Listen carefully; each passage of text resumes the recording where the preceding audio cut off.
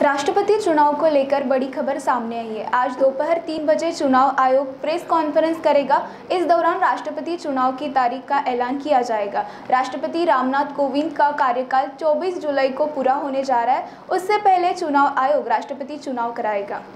संविधान के अनुच्छेद बासठ का संदर्भ देते हुए राष्ट्रपति रामनाथ कोविंद का कार्यकाल 24 जुलाई को समाप्त हो रहा है और अगले राष्ट्रपति के निर्वाचन के लिए चुनाव उससे पहले संपन्न होना चाहिए। राष्ट्रपति चुनाव में संसद के दोनों सदनों के सदस्यों के अलावा सभी राज्य के विधानसभाओं के निर्वाचित सदस्य, राष्ट्रीय राजधानी क्षेत्र, दिल्ली और संघ शासित प्रदेश, पुडुचेरी की विधानसभा के सदस्य वोट डाल सकते हैं।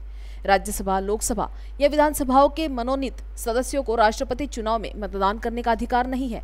ऐसे ही राज्यों की विधान परिषदों के सदस्यों को भी राष्ट्रपति चुनाव में हिस्सा लेने का अधिकार नहीं है। गौरतलब है कि 2017 में राष्ट्रपति चुनाव के लिए मतदान 17 जुलाई को हुआ था। और मतगणना 20 जुलाई को हुई थी।